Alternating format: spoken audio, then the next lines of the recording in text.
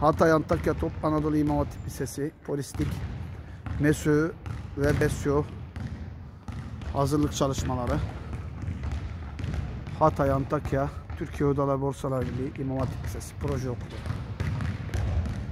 Devam ediyoruz gençler. Aferin Yücel.